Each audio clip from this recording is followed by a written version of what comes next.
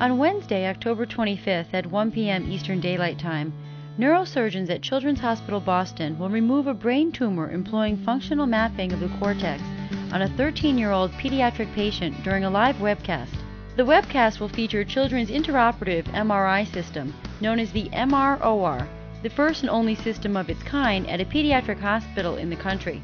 The team will use the intraoperative MRI to determine the progress of resection while the patient is undergoing surgery to ensure its optimal removal. This will be combined with advanced mapping methods to safeguard the normal functions of the brain. These techniques have revolutionized surgery for epilepsy and tumors in children.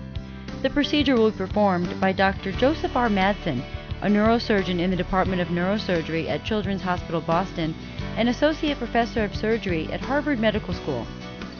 Please join us on October 25th at 1 p.m. Eastern Daylight Time for the live MRI guided brain tumor removal with cortical mapping procedure from Children's Hospital Boston. Viewers can send in their questions via email to the surgical team during the one hour webcast.